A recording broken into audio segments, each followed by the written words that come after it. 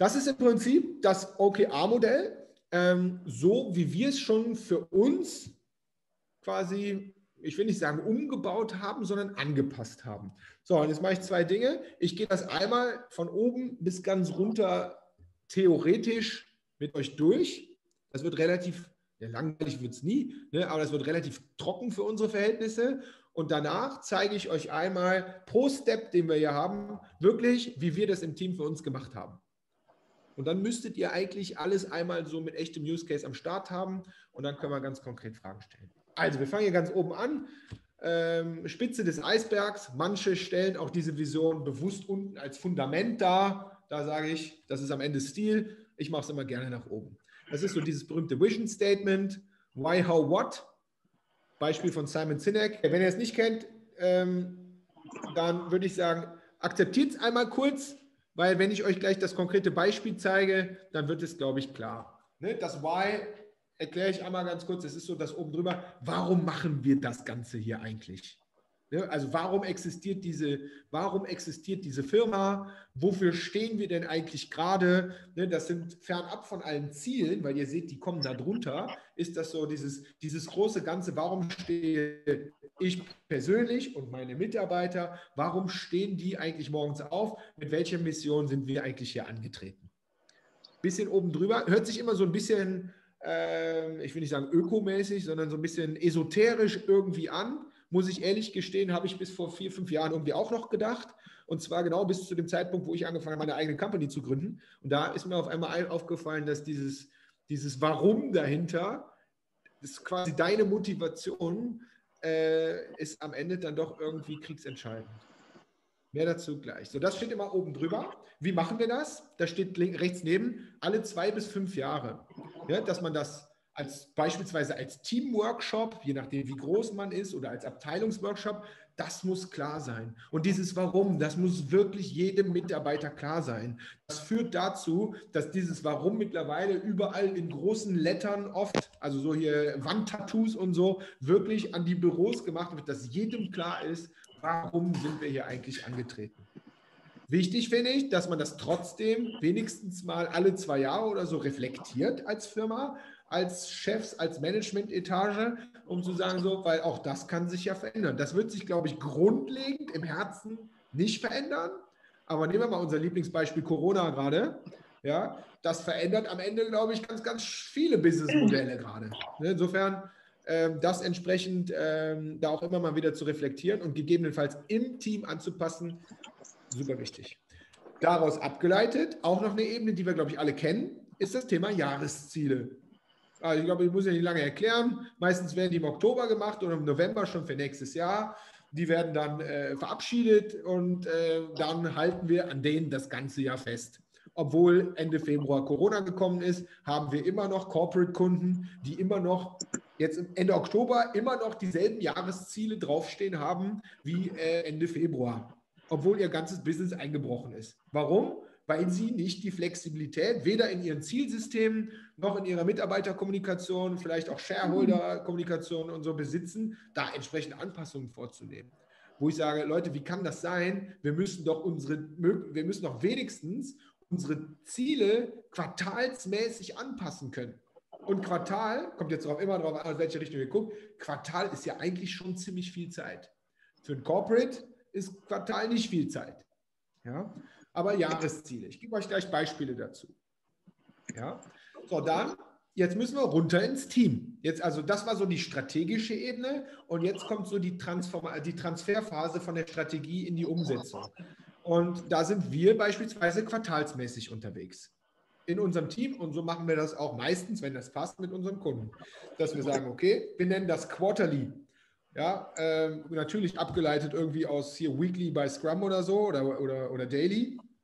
Quarterly. Das heißt, eine Routine ist immer am, bei uns jetzt als Beispiel, immer am ersten Montag des Quartals von 10 bis 12.30 Uhr haben wir im Team fest, da gibt es keine, das ist diskussionslos, haben wir, haben wir fest unser Quarterly. Wichtig ist, dieses Quarterly kommt von mir. Sprich, das kommt vom vom Management, egal wie groß ihr jetzt seid, weil das ist für uns diese Zeit, die meisten wollen diese Zeit der Kommunikation ja leider gar nicht haben, aber das äh, ist für uns die Gelegenheit zu senden. Updates zu senden aus dem Markt, aus der Strategie, aus der Konkurrenzsituation. Das heißt, das ist die Gelegenheit, wirklich wieder, je nach, wenn ihr ein kleines Team habt, dann ist das Problem meistens nicht so groß, aber das ist die Gelegenheit, wirklich wieder sehr enge Nähe zu dem Team aufzubauen und zu sagen, Leute, jetzt ist ja Corona gekommen, das haben ja alle gemerkt, so sieht es aus. Wenn ihr da die Möglichkeit habt, Jahresziele, ein Update zu geben. Ne? Nehmen wir mal an, wir haben jetzt Oktober, dass wir sagen, hier, wer unser Ziel war, eine Million Euro Umsatz. 687.000 Euro. Das heißt, Leute, wir haben noch 330.000 Euro offen bis Ende des Jahres. Schaffen wir das oder schaffen wir das nicht? Ne? Also je valider, datenbasiert ihr, ihr, da auch wirklich Zahlen kommunizieren könnt und Status Quo äh, äh, entsprechend zeigen könnt, desto eher schafft ihr es da, Nähe wieder zum Team aufzubauen.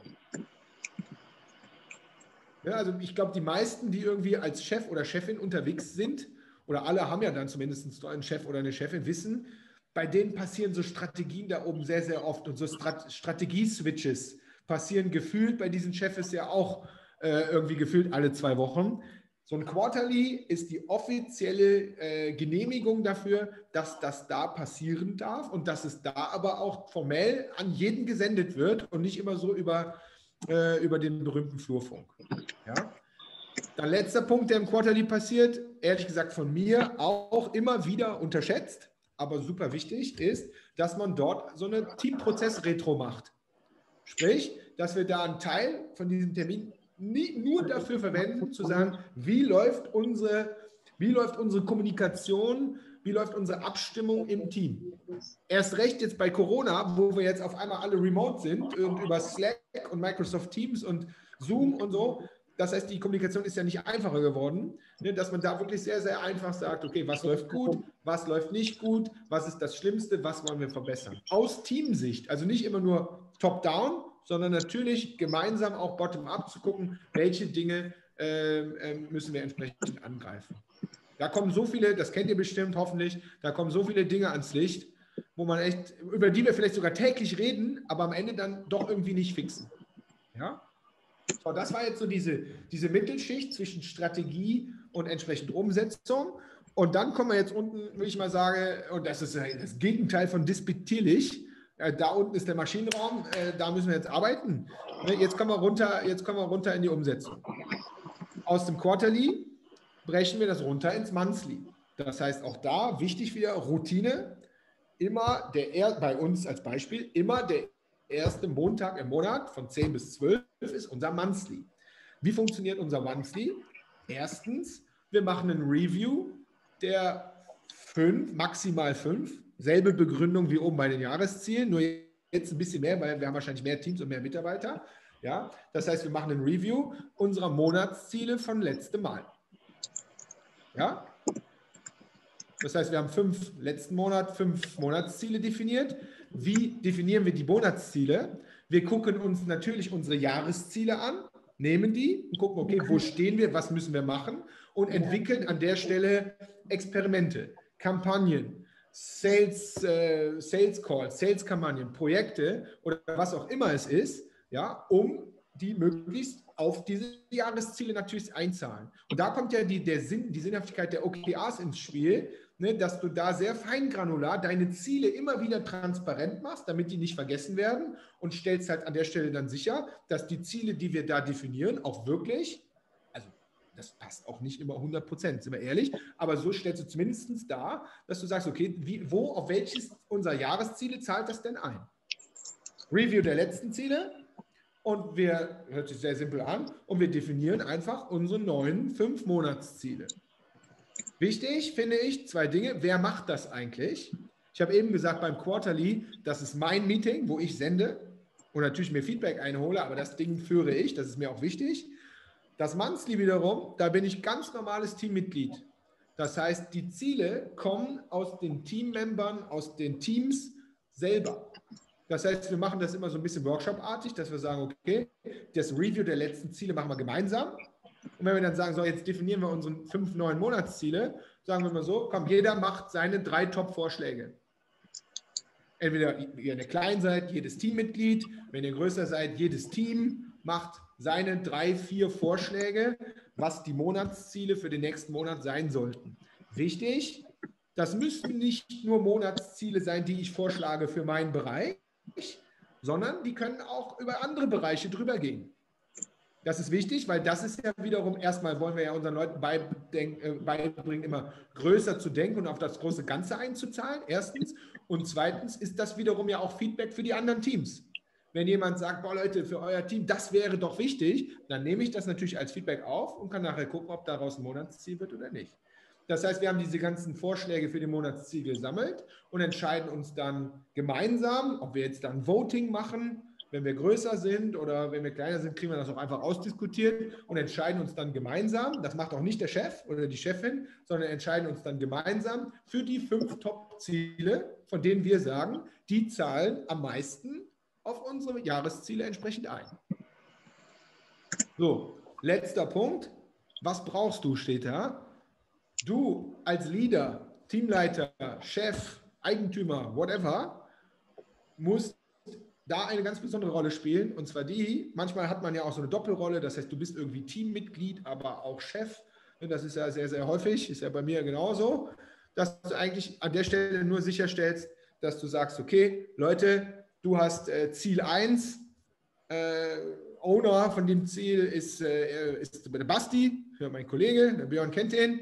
Ähm, und sagen, okay, Basti, hast du alles, um dieses Ziel zu erreichen? Was brauchst du? Kann ich dir noch irgendwas besorgen? Brauchst du ein Tool dafür, was du nicht hast? Brauchst du einen Prozess dafür, den du nicht hast? Brauchst du vielleicht Budget dafür, das du nicht hast? Brauchst du vielleicht eine Ressource äh, aus einem anderen Team äh, oder was externes? Oder brauchst du vielleicht mich, die knappste Ressource in diesem Unternehmen, äh, für was auch immer? Ne? Dass man da wirklich quasi den Leader raushängen lässt und ganz klar sagt, okay, was brauchst du, um dein Ziel zu erreichen? Das heißt, das Ziel von dem Monthly ist, dass wir fünf neue Ziele definiert haben, die auf das Jahresziel einzahlen und dass im Prinzip jeder alles hat, was er braucht, um dieses Ziel auch zu erreichen. Dann hast du normalerweise als Leader einen guten Job gemacht. Okay? Das letzte machen wir relativ kurz. Same, same. Wir gehen runter auf Wochenebene. Das heißt, dasselbe Prinzip machen wir wöchentlich. Montags 10 Uhr ist bei uns weekly, meistens eine Stunde. Wir machen äh, Review der letzten Wochenziele. Was hat gut funktioniert, was nicht. Das ist jetzt, seht ihr gleich in dem Beispiel, das ist sehr experimentenlike schon. Ne? Da stehen äh, richtig quantitative Zahlen dran. Da sind kleine Experimente, die lassen wir sieben Tage laufen, um zu gucken. Und ähm, sagen an der Stelle natürlich ganz klar, okay, was sind, äh, was sind die neuen Ziele? Und das ist ganz wichtig, die kommen komplett aus dem Team raus. Das heißt, wenn ich ganz ehrlich bin, arbeite ich daran, mein Team so aufzubauen und auch so zu designen, dass ich im Prinzip auf dieser Wochenebene da unten irgendwann, außer dass ich es natürlich total liebe, da unten zu sein, wenn ihr mich so ein bisschen kennt, ja, aber dass ich eigentlich da unten nichts mehr verloren habe. So muss man ein Unternehmen ja irgendwie in die Skalierung bringen. Ja, und da kommt wirklich raus, okay, was macht der eine diese Woche, was braucht er dafür, wie hängt ihr zusammen, wie hängen zwei Experimente vielleicht sogar inhaltlich zusammen. Das ist im Prinzip ganz grob unser Wochenplan. Wichtig, so, so klassische To-Dos, die irgendwie ganz dringend gekommen sind. Ne, da muss man jetzt nicht immer so ein Wochenziel draus machen, sondern die macht man einfach. Ne? Das heißt, es gibt weiterhin natürlich einfach Dinge, die einfach so gemacht werden, sondern wir geben uns sehr, sehr viel Mühe, in diese Wochenziele wirklich ähm, Experimente reinzuschreiben. Dass wir zum Beispiel sagen, okay, wir wollen diese Woche, das wird ihr gleich in einem Beispiel sehen, 20 Leads einsammeln, indem wir einen neuen Marketingkanal XY ausprobieren und nehmen uns dafür 250 Euro Budget.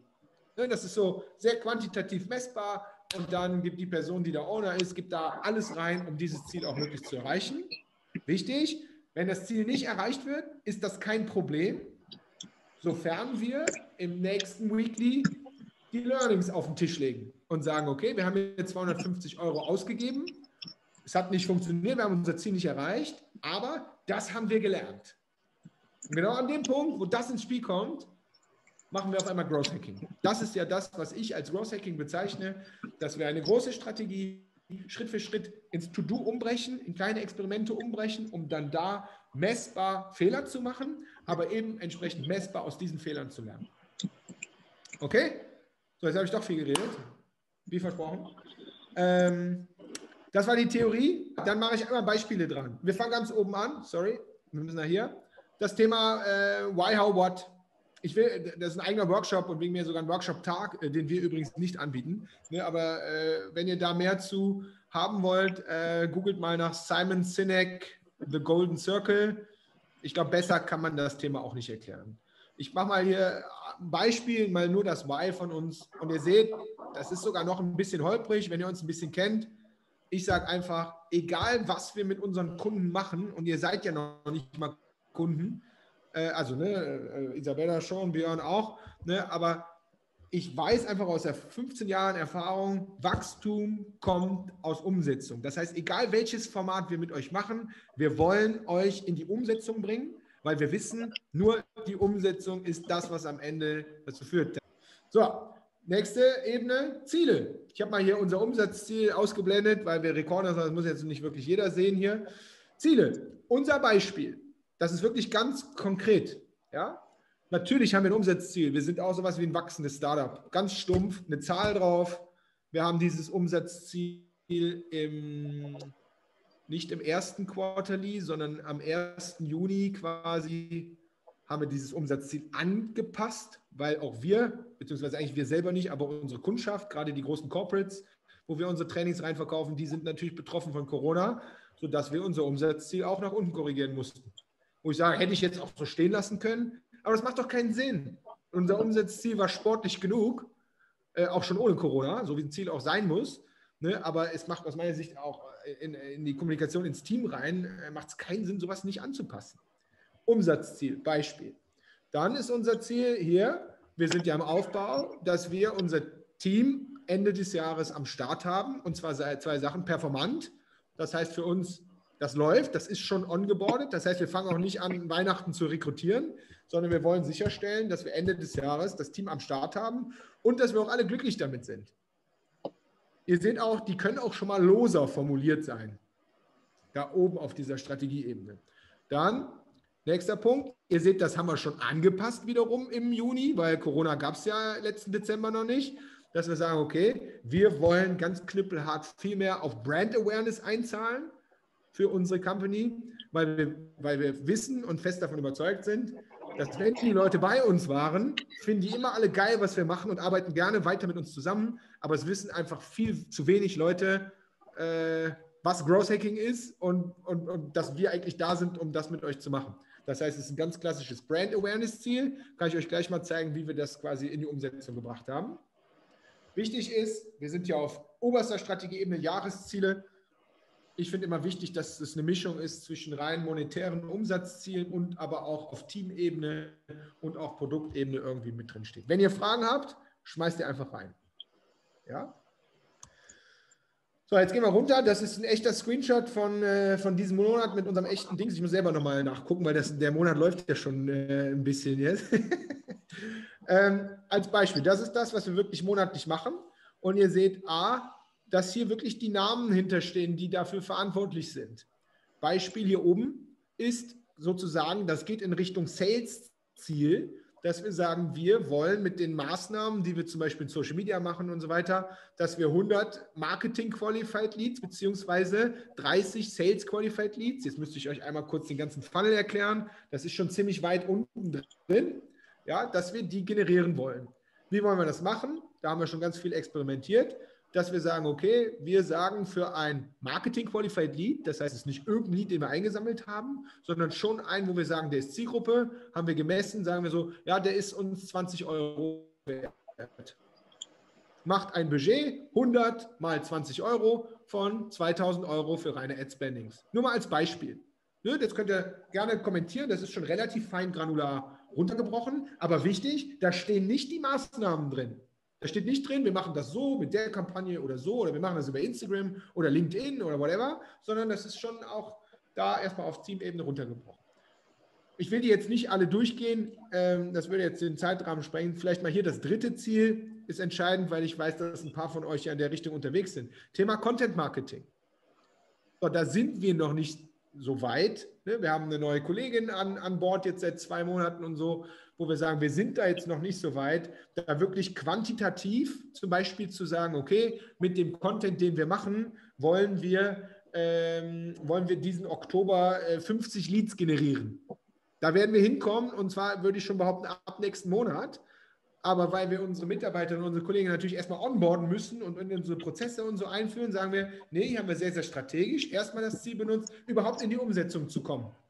Nur mal als Beispiel, wie, wie, wie also ich sag mal so, wie, wie, wie viel Cent wir versuchen da reinzugeben. Ne? Dass wir sagen, okay, das heißt, Execution gleich Growth. Ihr erinnert euch, dass wir sagen, okay, wir machen 20 Posts auf LinkedIn, wir schreiben acht Newsletter und publishen halt acht Podcasts. Das ist ziemlich viel für einen Monat, glaube ich. Ne, äh, Ravi, du kannst einmal sagen, ich glaube, wir sind, der Monat ist ja fast vorbei. Ich glaube, wir sind ganz gut on track, oder? Mhm, ja.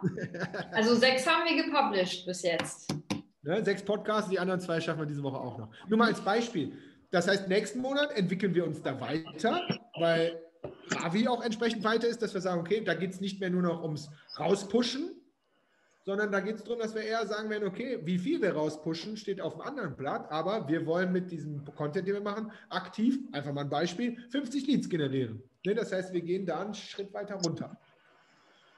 Könnte ich jetzt alles durchgehen? Ihr seht auch, hier ist ein Recruiting-Ziel unten drauf als Beispiel. Das ist eher ist immer noch meine Baustelle irgendwie, an der ich äh, gerade wöchentlich scheitere, weil ich weiß nicht, wer von euch schon mal Recruiting gemacht hat. Das ist leider ein Fulltime-Job. Und äh, ehrlich gesagt, wir haben gerade so viele Coachings und Workshops, was eine gute Nachricht ist. Aber verdammt nochmal, ich habe keine Zeit für Recruiting. Das heißt, ich schreibe mir das selber immer als Ziel da rein, damit ich es jeden Tag sehe. Und die, wie jetzt gerade schon wieder, die Oberkrise dann kriege. Ja, aber so, äh, so muss es ja irgendwie sein. Okay, Fragen zum Monatsziel? Nope. Gut. Dann gehen wir weiter. Jetzt gehen wir ganz runter. Wochenziel, heute ist Dienstag, äh, gestern Morgen um 10 beschlossen. Und da seht ihr jetzt auf einmal, da werdet ihr kein einziges Wort verstehen, wenn ihr das einfach nur lest. Ob das gut ist oder schlecht, ist, äh, steht auf dem anderen, hat der Basti geschrieben, das liegt daran. nee, ähm, sondern hier ist Teamlogik. Ne, das passiert in deinem Team operativ. Wie arbeitet ihr zusammen? Worauf wir versuchen, sehr, sehr viel Wert zu geben, wirklich das am Ende dann doch so konkret, und das ist wirklich eine Challenge, so konkret aufzuschreiben, wie es geht. Möglichst messbar, Zahlen, datengetrieben zu sagen, okay, wir wollen das machen die nächsten sieben Tage, sodass wir nächsten Montag wieder gucken können, ähm, ja, was haben wir davon erreicht, was nicht und vor allen Dingen, habe ich eben schon gesagt, warum nicht? Warum hat das hier mit den 10 SQLs nicht geklappt, als Beispiel? Und so weiter und so fort. Ja, so das war einmal jetzt die, die große Reise von äh, Why, How, What runter bis in die, in die Wochenziele. Und ähm, mir war es ehrlich gesagt sehr, sehr wichtig, da wirklich die konkreten Beispiele dran zu hängen, sodass ihr da was habt, wie, wie das jemand wirklich macht. Weil alle reden immer nur von irgendwelchen Management-Frameworks und von der Theorie und dann muss man Objectives oben machen und die in Key Results runterbrechen. Aber am Ende, korrigiert mich, aber kann man sich das immer so, so, schlecht, äh, so schlecht vorstellen. So, und damit würde ich gerne einmal die, äh, wenn ihr habt, die Fragesession eröffnen. Kommentarsession ja. eröffnen. Findet ihr das gut? Findet ihr das nicht gut? Wo habt ihr konkrete Fragen? Macht ihr das genauso? Würdet ihr das gerne genauso machen, aber wisst nicht, wo ihr anfangen sollt? Äh, können ich noch zehn andere Fragen stellen. Schießt einfach mal los. Also erstmal danke. Ähm, ich hätte zwei Fragen. Ähm, ja. Einmal, was sind so Stolperfallen, ähm, die äh, ja. jetzt so aus Erfahrung mitnehmen würdest? Und ähm, wenn du es, macht ihr das auch bei Kunden? Und wenn ja, und wenn ja, ähm, für welche Kunden ist es nicht geeignet? Oder würdest du sagen, es ist für alle geeignet? Ja, ich fange schnell hinten an, ähm, weil die Frage ist, glaube ich, am einfachsten. Ich bin der Meinung, es ist grundsätzlich für alle geeignet, wenn du es wirklich nicht einfach so nimmst, sondern wirklich auf den jeweiligen Case adaptierst. Das geht sogar so weit, dass du ja, nehmen wir mal an, du bist Abteilungsleiter in einem riesigen, riesigen Corporate. Da könntest du ja, du, du, du, erbst ja quasi dein Ziel von oben. Du könntest ja diese Art des Managements ja sogar in deiner Abteilung aufbauen. Wenn du Teamleiter bist, du könntest ja diese Art in deinem Team aufbauen, jetzt mal aber nebenher, ohne dass es jemand merkt. Weil wie du dein Team am Ende steuerst und managst, das kannst du besser machen als die anderen oder schlechter. Ja, also deswegen sage ich, habe ich wirklich den Erfahrungswert gemacht, wenn du das wirklich anpasst auf den jeweiligen Use Case von Menschen, Prozessen, Business Case und so weiter, kann das wirklich für alle funktionieren. Dabei bin ich bei Stolperfalle 1, weil das ist die erste Stolperfalle 1, dass man das Ding einfach nimmt und versucht, so oben drüber zu stülpen. Das, das, Ganze, habe ich eben schon gesagt, genau wie Scrum und sonst irgendwas, alles super Dinger, aber sofern du das nicht anpasst, äh, wird es halt nicht funktionieren. Stolperfalle 1. Stolperfalle 2 ist aus meiner Sicht, ähm, dass man das nicht, und dafür ist es eigentlich da, dass man das wirklich als, als Leader, der äh, das Ding vorantreibt, dass man das als Kontrollmechanismus benutzt. Wichtig ist, das Mindset, was dahinter steht, ist nicht Kontrolle. Wenn ich hier oben reinschreibe, MQL-Check des Formularexperiments, MQL-Check des Formularexperiments 10 SQLs, aus OKR-Workshop Bestand und MQLs anrufen. Von Bastian. ja, dann steht das da nicht drin, weil ich kontrollieren will, ob der das schafft, sondern das steht da drin, weil wir das gemeinsam erreichen wollen. Und ich will nächsten Montag sehen, dass da eine 7 steht. Und dass wir sagen, boah, geil, 7, warum nicht 10? Und dass wir uns dann in die Augen gucken und sagen so, das haben wir, das müssen wir optimieren und das auch. Das ist, weißt du, das finde ich wichtig. Das ist kein Kontrollmechanismus, so wird es aber oft benutzt, sondern das ist wirklich ein gemeinsames, ja, wir, wir, wir tracken den Fortschritt. Und den Fortschritt tracken ist nicht gleich Kontrolle. Ja, das ist für mich Stolperfalle 2. Und ähm, Stolperfalle 3, ehrlich gesagt, ist, ähm, dass es eben nicht, wenn wir gerade in mehreren Teams arbeiten, ja, dass es eben nicht transparent zwischen den Teams kommuniziert wird, was, was die anderen so machen. Ne, weil das wird immer wieder unterschätzt. Jede, jede Abteilung macht dann am Ende, das kann auch in einem kleinen Team, jeder Mitarbeiter in deinem Fünfer-Team macht irgendwas, aber die gerade remote, ist ja noch schlimmer geworden, aber die anderen wissen gar nicht, was die da so machen. Auch da geht es nicht um Kontrolle, sondern zu sagen, wie können wir besser, ich, ich habe das schon gemacht, du musst es nicht machen.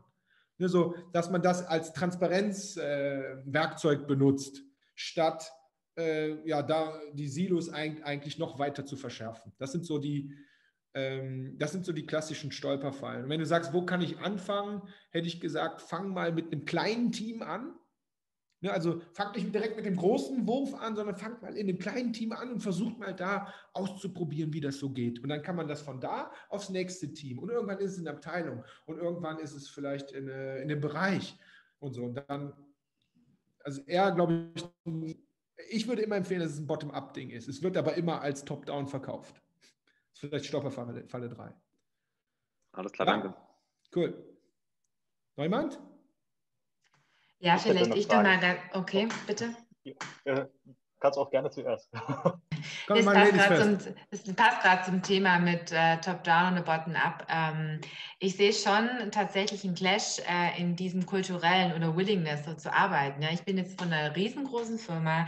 Das wird uns auch mit 29 äh, Ländern in einer neuen Region äh, einholen.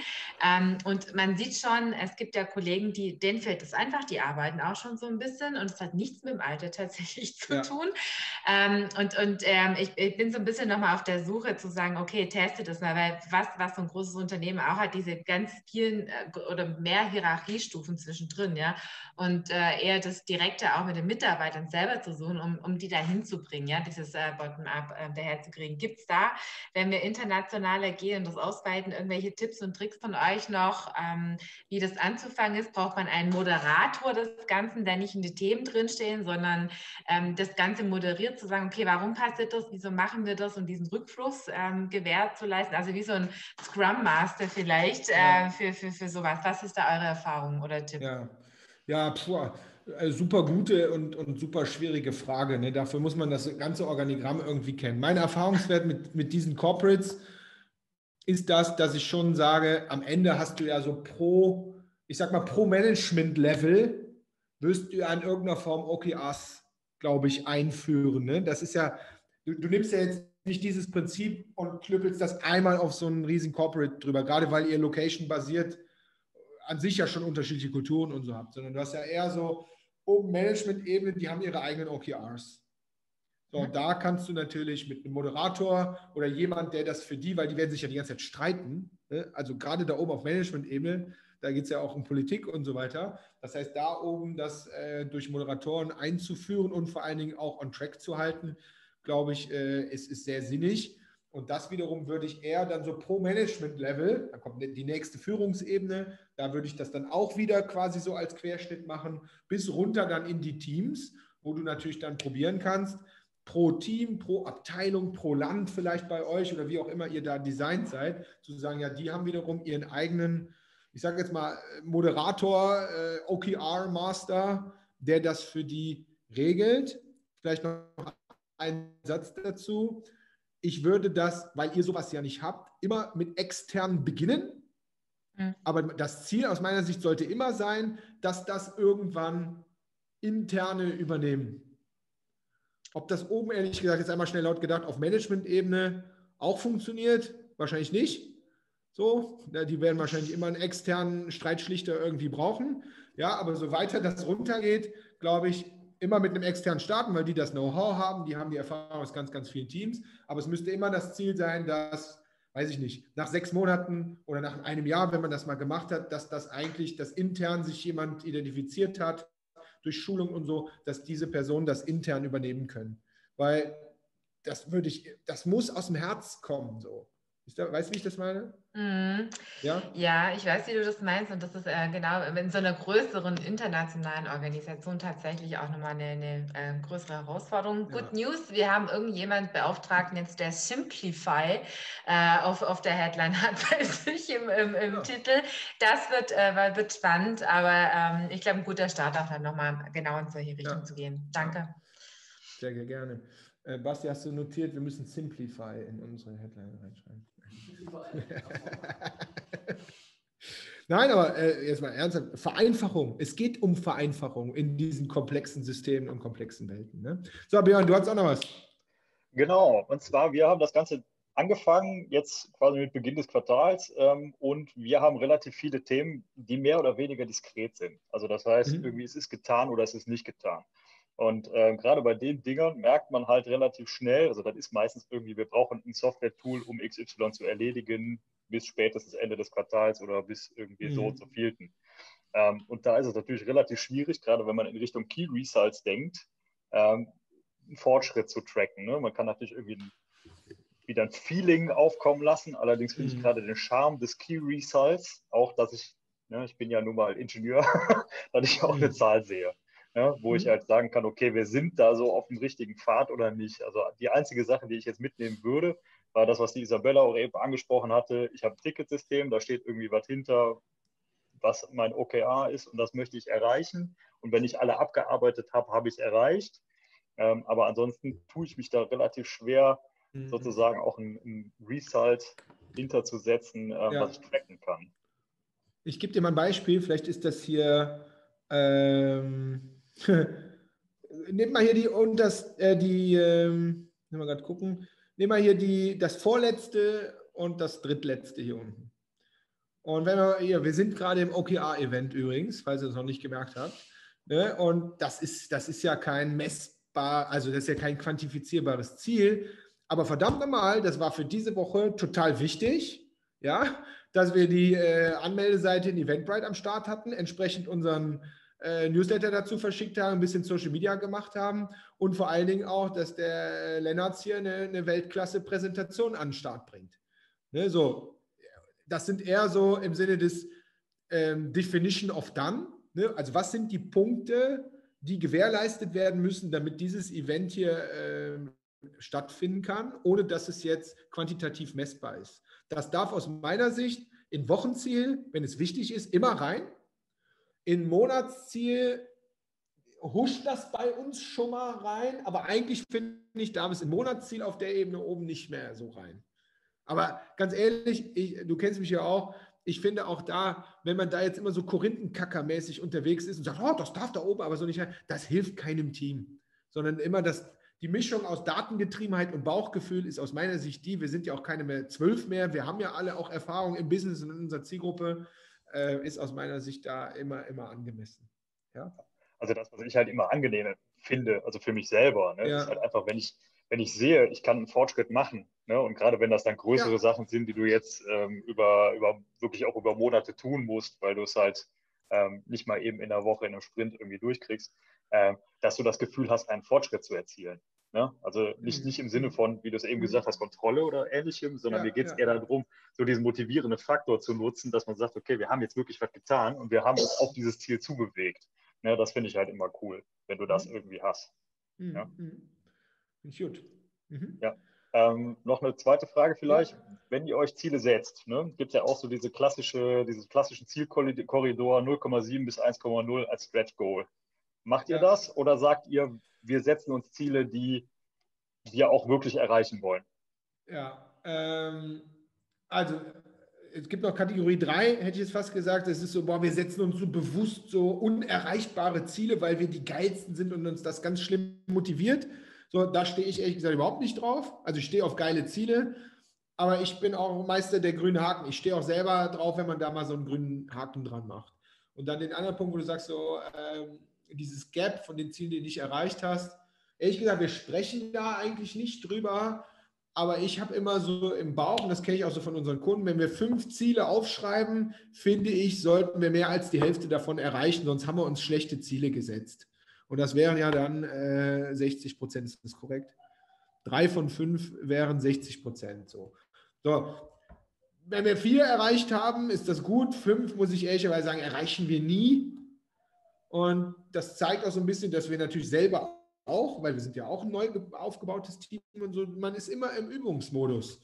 Und ähm, um deine Frage zu beantworten, wir, wir, achten da jetzt nicht sehr auf diese 0,7 oder so. Ich habe eher immer so im Bauch, dass ich sage, so, boah, wir müssen die Ziele schon so designen, dass wir mehr als die Hälfte erreichen, weil sonst, wenn das weniger ist, sind wir irgendwann demotiviert auch. Und wenn wir immer auf 5 sind, glaube ich, sind unsere Ziele nicht sportlich genug. So, ne? Und deswegen, so, das ist so meine, persönliche Marschroute. Ja. Gut. Was haben wir noch? Habt ihr noch Fragen sonst dazu? Aha. Hilft das? Gibt es, gibt es irgendwen? Könnt ihr uns sagen, was ihr, vielleicht auch mal die, die anderen, die noch irgendwie gar nichts gesagt haben? Ich stehe ja immer nicht so auf Webinar, ich freue mich immer über Interaktion. Ähm, dass ihr, äh, nehmt ihr irgendwas mit, was ihr vielleicht versucht oder umsetzt, weil dann bin ich ja immer sehr glücklich. Ne? So konkret? Ja, klar. Für mich war das Thema Runterbrechen eigentlich in die wöchentlichen Ziele nicht so klar, beziehungsweise mhm. wie, wie formuliere ich wöchentliche Ziele, dass sie wirklich messbar sind. Mhm. Ähm, vielleicht auch eine Frage dazu, wie viel wie viel Planungszeit benötigt ihr? Ist, ist das in der Gruppe oder ist das, äh, jeder trägt seine Ziele bis zu einem gewissen Zeitpunkt ein ja. und dann wird das gemeinsam besprochen? Ja. Wie, wie, wie regelt ihr das? Ja, geile Frage. Ähm, haben wir uns ähm, weiterentwickelt. Wir hatten, okay. äh, wir hatten mal äh, den Prozess, dass wir gesagt haben, bis montags morgens um 9 Uhr, also unser Weekly ist um 10 und wir hatten mal den Prozess, dass jeder jedes Teammitglied und äh, wir sind sieben und remote und so, ja, dass jeder bis 9 Uhr seine drei Vorschläge für die Wochenziele in Slack postet. Sodass wir im Prinzip die Zeit sparen und eigentlich am Anfang des Weeklies nur die, äh, die 3 mal 7, wenn sie sich nicht, also quasi 20 plus 1 äh, Ziele quasi konsolidieren und da sehr, sehr viel schneller reingehen. Frag mich nicht, warum. Aber das hat irgendwie nicht so gut funktioniert. und, obwohl okay. wir Reminder automatisiert haben und so. Und ehrlich gesagt, als ich das erste Mal gemerkt habe, dass ich der Einzige bin, der dann kurz um 9 Uhr noch dahin sprintet, um ein gutes Vorbild vorauszugehen, habe ich irgendwann gedacht, so, ey, ganz ehrlich, das ist dann einfach nicht der richtige Prozess. So, dass wir das jetzt komplett in dem Weekly einfach machen. Dieses Weekly dauert eine Stunde normalerweise. Eine Sache, die mir da sehr wichtig geworden ist, ist die im Vergleich zu einem Stand-up beim Scrum. Da ist ja Diskutieren und Inhalt und so verboten. Mhm. Und ehrlich gesagt, wir nutzen dieses, diese Stunde, manchmal ist es auch anderthalb, aber länger darf es nicht sein. So, ne? Die haben wir auch im Kalender geblockt, es sind anderthalb geblockt und wir versuchen aber immer auf eine Stunde zu lang. Das heißt, wir versuchen schon Inhalt auch an die einzelnen Beispiele ranzubringen. Warum? Weil ich jetzt sage, wir sprechen doch sonst in so einem Remote-Teams viel zu wenig und dann will ich wenigstens die Gelegenheit hier haben, auch von mir, ganz, ganz viel Erfahrung ganz vielen Bereichen zu sagen, so, da packe ich jetzt kurz auch einmal meine drei Ideen dran, damit der Owner dann, dann haben wir uns das Briefing im Nachgang schon gespart. So. Das heißt, so, um deine Frage konkret zu beantworten, den alten Prozess haben wir nicht mehr, sondern wir packen das in eine, maximal anderthalb Stunden rein, sind sieben Leute, die äh, halb remote sind und halb hier in Köln vor Ort. Das heißt, wir sitzen mit der einen Hälfte dann immer hier zusammen im Büro in Köln und die andere Hälfte ist Gott weiß wo. Ja? Okay, danke. Ja. Gerne. Wen haben wir noch? Das Wort? Mal gucken hier. Jakob, wie sieht es bei dir aus? Ja, hast, du, hast du gedacht, du könntest in der letzten Reihe verstecken, ne? Hat nicht genau. geklappt. Ich sitze ja ganz, ganz weit draußen, ja. Ja, ja ich suche jetzt gerade Fragen. Irgendwie leuchtet mir das ein. Ähm, vielleicht auch eine, ja. Ich meine, wenn man jetzt, sagen wir mal zum Beispiel Inbound-Themen da einbaut, ja. Ähm, das ist ja schwer planbar. Ne? Also ich kann ja jetzt nicht irgendwie sagen, wie viele Leute füllen unser Kontaktformular aus. Ne? Wie, wie, wie kann ich das? Ich lasse dich gerne ausreden. ja, gut. Ja. Ähm, ja. Ähm, ja. Ich kann es ja trotzdem, also klar, man kann ja ein bisschen steuern, aber letztendlich ist es ja auch ein bisschen äh, äh, eine Frage dessen, wie der Markt reagiert. Also ich, ich, ich nehme das Inbound jetzt sozusagen nur so als, rein als, als Aushängeschild. Ähm, wie, wie, wie plant, plant ihr da? Weil ich meine, eigentlich kann man nur die Maßnahmen äh, planen, die, die man selbst irgendwie unter Kontrolle hat, oder? Ja, absolut. Aber Inbound, also ich glaube, es gibt Beispiele, wo du komplett recht hast. Aber Inbound, muss ich sagen, ist, äh, we call it a Klassiker. Ja, äh, das heißt, da sage ich, Beispiel hat man eben auch da drin stehen, ne? zu sagen, okay, welcher Marketingkanal ist dein Liebster, wo ihr Inbound-Marketing macht? Google, LinkedIn? Meistens im Moment AdWords, ja. Ja, AdWords. So, Google, ja. Google AdWords, dass du sagst, okay, sieben Tage haben wir Zeit, was nehmen wir uns vor? Wir haben unsere Keywords am Start oder vielleicht wollen wir ein Experiment machen. Wir wollen mal ein neues Keyword-Set, ein neues Thema irgendwie ausprobieren, haben dazu eine Landingpage gebaut, dass du halt sagst, okay, wir haben, wie viel Budget haben wir? 500 Euro. Wir haben 500 Euro Budget und dass wir da wirklich datenbasiert die Frage stellen, okay, auf Basis vielleicht von anderen Erfahrungsdaten aus anderen Kampagnen oder du weißt halt, was dich ein Lead kosten darf, kann. Das wäre natürlich äh, hervorragend, dass du sagst, okay, für die 500 Euro, wie viele Leads will ich denn darüber einsammeln? Nehmen wir mal an, äh, ein, ein, äh, ein Lead kostet 10 Euro. Ich habe keine Ahnung, was du machst, aber ein Lead kostet 10 Euro. Ja, dann sind wir bei was, 50, 50 Leads. So, das heißt so, ich, mein Ziel wäre, ich versuche mit den 500 Euro, ja, zu einem Leadpreis von äh, 10 Euro, versuche ich 50 Leads einzusammeln. Das würde ich als Wochenziel aufschreiben, würde da meinen Owner dran schreiben, der bei uns hier verantwortlich ist für Inbound Marketing, Google AdWords und Co.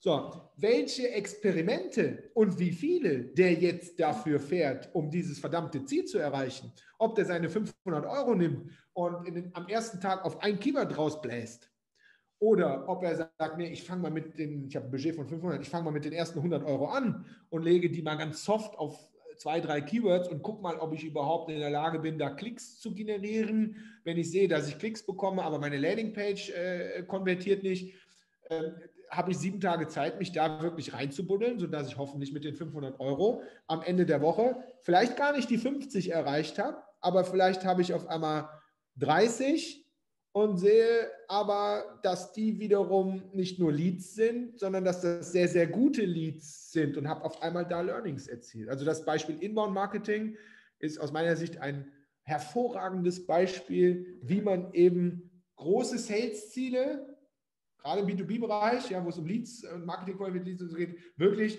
runterbrechen kann auf Team- oder auf Personenebene, wo man sagen kann, okay, komm, ab in den Experimentiermodus. Ich gebe dir das Budget, was du brauchst, ich gebe dir die Tools, was du brauchst und du machst jetzt so viele Experimente, bis das verdammte Ziel erreicht ist. So. Ja. Das ist so komplett Growth Hacking Experimentiermodus, äh, da wo er hin muss. Ja. Okay. Was haben wir denn? Oh, jetzt haben wir hier 18 Uhr. Ich werde verrückt. Und ähm, ja, ich würde sagen, ähm, Isabella sprechen wir gleich noch. Ähm, ich würde hier einen Haken dran machen. Vielleicht kurze Feedbackrunde von euch. Hat euch das gefallen so? Gibt es irgendwas, was wir besser, ernsthaft immer, wir sind immer sehr feedback-orientiert, gibt es irgendwas, was hat euch gefallen? Was gibt es vielleicht, was wir besser machen müssen? Was habt ihr für Themen, wo ihr so einen Workshop auch gerne mal machen würdet bei uns? Inbound Marketing so. habe ich schon aufgeschrieben. Also ganz, vielleicht ganz kurz Feedback. Ähm, ja. Also ich hätte von OKR logischerweise auch schon was gehört. Ja. Ähm, hat mir jetzt einen guten Einblick gegeben. Ähm, und äh, ja, für, für, uns ist dann äh, äh relevant, weil es ja bei unseren Kunden auch ein Thema ist. Also sind ja bei mhm. Branch hast. Ähm, mhm. Von daher, ähm, ja, erstmal einen guten Einblick gegeben und äh, danke dir auf jeden Fall. Ja, cool. Mir hat es auch geholfen, ähm, Henrik. Ähm, ich ich, ich hänge noch im Kopf tatsächlich, wie man die Methodik in einem größeren Radius implementieren kann, ähm, mhm. internationaler. Ähm, und äh, dieses Inbound äh, ähm, wäre auch nochmal ein Thema. Du weißt es mit äh, diesem Aufbau unserer Kommunikationssache. Mhm. Ähm, also, das mhm. sind so die zwei Themen, die mich da umgeben. Äh, Vorschläge für die nächsten kann ich gar nicht konkret sagen. Aber ich freue mich, wenn ich sehe, dass ich reinspringen kann. Weekly, äh, wie ich verstanden ja. habe. Ja. ja, super. Okay. Gut. Ähm, wie geht's weiter?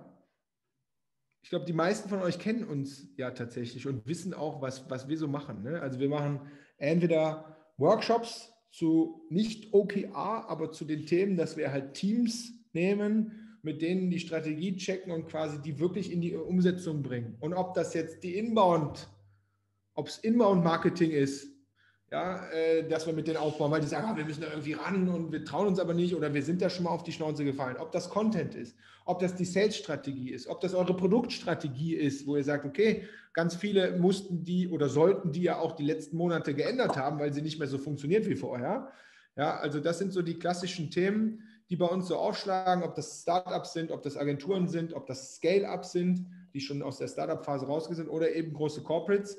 Wir schnappen uns liebend gerne immer Teams und gehen mit denen äh, ja, in diesen Umsetzungsmodus rein, bringen die auch gerne in die Umsetzung. Das heißt, wir machen keine reine Theorie-Workshops. Ich habe versucht, das in dem Workshop hier auch so zu machen, dass wir wirklich ganz konkret versuchen, euch Beispiele zu geben und dann versuchen auch euch beim Transfer in eure Welt äh, zu helfen. Das heißt, es sind entweder Workshop-Formate oder ähm, das ist das, wo äh, hier Kollege Björn bei uns zu Hause ist. Das heißt, wir machen da drei Monats, ein Drei-Monats-Programm, wo wir euch als Team an die Hand nehmen und wirklich die Strategie definieren für die drei Monate und dann Step by Step by Step mit euch in die Umsetzung gehen. Genau diese äh, wöchentlichen Experimente definieren, sodass am Ende ähm, ja, möglichst das Ziel rauskommt, was wir, äh, was wir uns in den drei Monaten ähm, ja, erschaffen haben. Und ähm, wenn das für euch in irgendeiner Form interessant ist, dann meldet euch bitte bei uns. Ne? Wir haben unsere Webseite, wir haben unsere Kontaktdaten. Am besten äh, ruft ihr bei uns an oder schreibt eine Mail, entweder an äh, h.henriklennartz.com oder an Kollegen Bastian at. Und ähm, ich hoffe, ihr habt Spaß gehabt. Empfehlt uns gerne weiter, wenn euch das gefallen hat. Und er würde sagen, jetzt ist 18 Uhr, wir haben einen schönen Abend und wir sehen uns. Wir haben das Thema für nächstes Mal noch nicht ganz klar. So, ich glaube, es geht um Product-led Growth. Das haben wir so im Kopf. Das heißt, es geht nicht immer nur um Marketing, sondern was kann man in ein Produkt einbauen, um von da entsprechend auch Referrals zu kreieren, Weiterempfehlungsraten zu kreieren. Ähm, ein sehr spezi Thema, aber ein sehr geiles Thema. Ich kann mir vorstellen, dass wir dazu als nächstes einen Workshop anbieten. Ja? Und Isabella, vielleicht bleibst du noch kurz einen Moment drin. Und allen anderen wünsche ich einen wunderschönen Abend, ein schönes Wochenende, dann, wenn Freitag ist. Und äh, ich freue mich schon auf das Feld, was ich gleich trinke. Ich glaube, daran liegt das. Und äh, ihr merkt, es bei uns ist auch immer, immer Spaß, Spaß wichtig, weil sonst ist das alles viel zu langweilig. Und danke an euch und wir sehen uns wieder. Macht's gut. Ciao. Tschüss. Danke, ciao. ciao.